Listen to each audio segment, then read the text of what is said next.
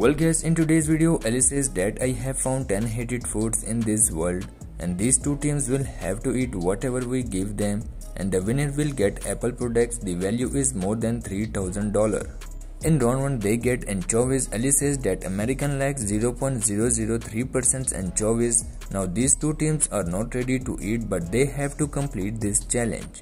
They have 4 lifelines if they don't want to eat in the middle. They can also choose a punishment. They can also modify the game. They can also swap for a mystery item or pass the round. So Andy and Fran eat first and they get 1 point but in the second round they get broccoli and Brussels sprouts and they don't like to eat that in America. And both team complete this round and both team get 2 scores. Then in round 3 they get Hawaiian pizza which people don't like much.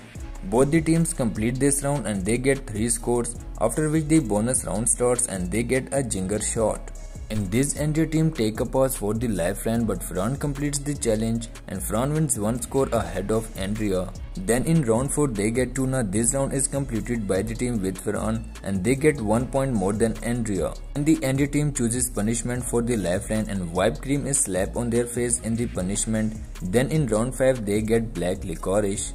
But these two teams take a swap of the lifeline and in this mystery item Fran gets resin and Andrea gets ice cream. And both teams complete this round but Fran team is still ahead of Andrea in the score.